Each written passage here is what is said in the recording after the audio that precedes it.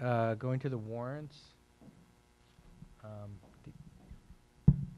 l- Let me just highlight some of the top, you found something? I, I, I did. It was actually our ju- our spam filter is working well. I'm glad to say. It was, You're spamming me out. Yeah, so you have Okay, it, you have it anything- blocked, and I'm, we're going to set a new rule to allow you uh, to come in. It was it did come to my work email, but I did find it in, in our junk mail. So sorry Okay. about that. Thank you. Uh, Let me highlight the, the, the key ones. Sure. Uh, uh, Action Learning Systems for $15,000. Yes, Action Learning Systems was the organization that uh, supported us for our uh, professional development days, three days uh, in August and two additional days in October um, uh, on the Common Core work uh, that we're doing with teachers. Okay, good. Uh, Chrysalis Coaching for 2,900. I'm um, fairly certain that's uh, special ed support uh, service. I'm not sure uh, if it's uh, occupational therapy or what. It, I believe it's related to special ed. Oh, I'm sorry. No, it's not. I apologize. I, I know I know an organization with that similar name. Uh, Ms. Tamer just reminded me what it is. Uh, that is Tracy Tomaski, the consultant that is helping us with visioning. The Visioning. Yes, thank you. It. There is a Uh, special ed there. uh, uh, Progressive is our OT person. We use Progressive for OT. uh, LSA Associates? I believe that's an ECCL project expense. Yeah, okay. Uh, Hat, I don't know how to say Hatchell that. Tabernick and. Associates, I'm, I'm, my memory serves me correct, I believe they're the firm that we're required, we're required uh, by the after-school grant to contract out for um, an audit uh, each year for our after-school program, and Okay. so they handle that Yeah. attendance audit. Okay, didn't recognize that name, but looks like some professional group. Uh, Paxio for six thousand dollars? Paxio uh, ha- uh, helps us with our wireless internet. Okay. And then, uh, there were two, uh, payments to charter schools, Aspire Public Schools for ninety-six hundred and Yu Ming Charter for thirty-eight forty-three. Yeah, Doris, Good. could you come up and explain, help explain that to the board for us? Is that a pass-through of some, I, I some sort? think, I think it has to do with the one year we became a basic aid Oh. district, but Doris, who knows this better than I Uh-huh. do. That will be a one-time payment. Uh, Apparently, it will be covering part of my presentation during the first interim. It's a one-time payment that, going back to 1213, when Emery is a basic aid school district. Mhm. And apparently, we are supposed to transfer a portion of the property taxes that we received uh, at that year to the charter school, in this case, uh, two charter school, Yu Ming and Aspire. And then for the students, their principal residency is in Emeryville. I see. I was gonna say, yeah, It's a my next one-time question payment, was, why yes. those two? And it's because they're serving students Yes. that are from Emery? Yep. Okay, huh. That answers that. Okay. Uh, With that, I, I, unless there are other questions, I'll move that we adopt the warrants. As an impressed um, board member, I would, I would second that you guys captured all that in moments. Great. And that's a second. That's a second. Okay, any objections, public comment? Uh, Roll call, please. Member Ash? Yes. Member Mirriam? Yes. Member Patz? Yes. Vice President Dice? Yes. President Affeldt? Yes. Okay, on to uh, action items. Uh, And we've already uh, taken care of our first action item, which was the uh, parcel tax report.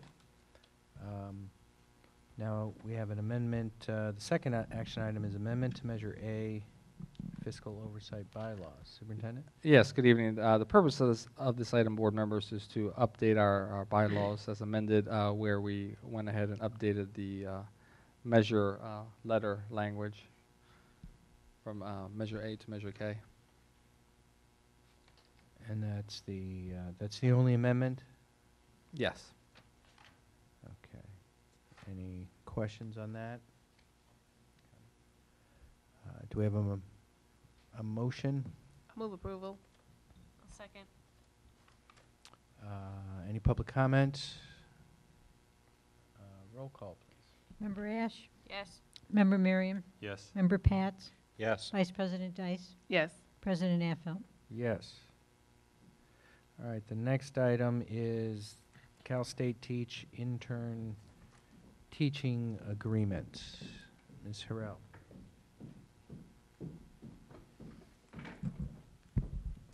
Good evening. The item for the um, intern teaching agreement, it's, a lot of these are, are, um, we put them in place each year, but we don't always use them. It's, um, it's good community relationships, it's good community building. We haven't, we only have one intern teacher this year, and that intern is from Cal State East Bay. But this is for Cal State, um, Cal Teach. In the event we had a need, and in the event that they had a candidate who met all of the necessary criteria. But we don't anticipate hiring another intern this year. Uh, The, the Cal State East Bay intern is working under a specific agreement we have with Cal State East Bay, Yes. is that it? Similar to this agreement, yes, Yeah, but it's for but- Cal State East Bay. But that, and that one, because this one covers multiple subjects, elementary school, Mhm. K-8 teachers.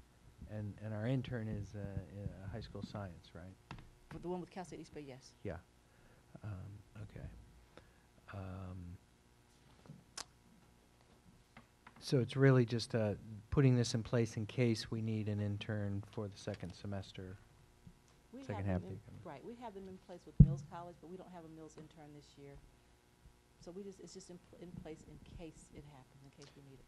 Yeah, um, and, and typically this would be sort of a pro forma, um, acceptance, uh, on my part, but the, um, I, the intern regulations that, that govern interns have been updated, Mhm. and I don't think this agreement captures the, the current requirements. So, the, the one issue I have with it is, it's saying that the intern will be, s- um, trying to find it, but mentored for basically two hours a week. Where, which section, the See, school district will do the said. follow, which number? I said I couldn't find it, but, uh, Oh, give me a it's number second. two.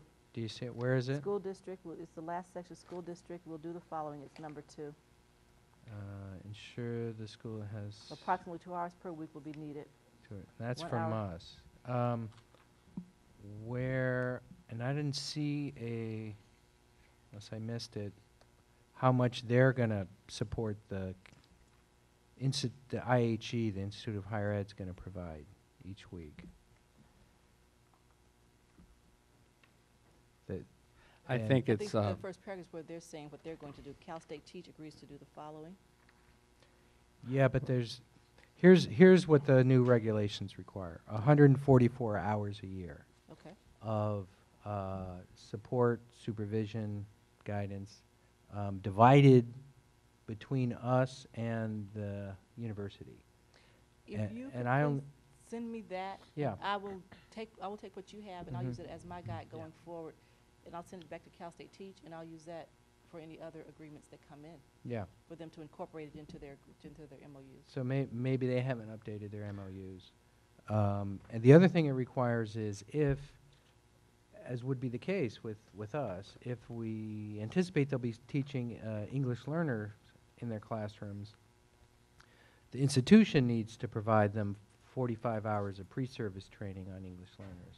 Okay? So that should be uh, reflected in the MOU. And, and the CTC's guidance does require that this agreement between us and the Mhm. institution reflect that 144 hours and reflect the, the pre-service. Okay, then So I I'll will look for what send you you that. send me and then I can use that as my template going forward. and that, that may be in our, in our other agreement, as I recall. It uh, in Because one- I know they did a good, they seem to do a good job of I- updating, they were in the middle of updating their agreement when Right. that one came in. That's why it and came to us. I, I kind of think you're right. I- I It think, was I in the think, I one with think, Cal State East Bay.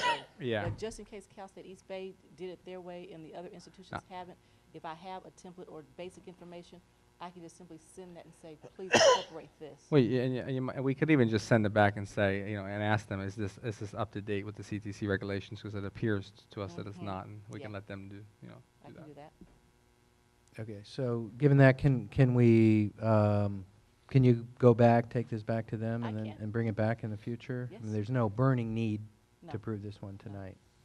Okay, is that am- uh, amenable to the rest of the board? Yeah. Okay, all right.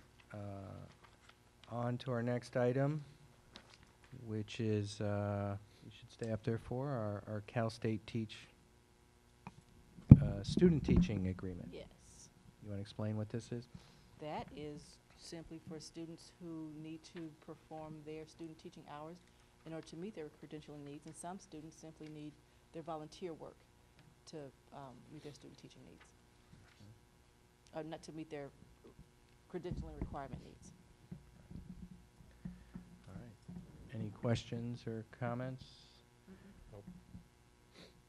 Yeah, this, um, this looks great to me. I mean, Okay. we, we want to support, uh, new teachers and, and we get great, um, We help do. from our, my son's class has a very good year-long, That's good. uh, student teacher. So, do we have a motion? Move to approve. Second? Second. I think Christian got that first. On the second. Uh, any public comment? Um, roll call, please. Member Ash? Yes. Member Mirriam? Yes. Member Patz? Yes. Vice President Dice? Yes. President Affeldt? Yes. Thank you. Thank you, Ms. Harrell. Uh,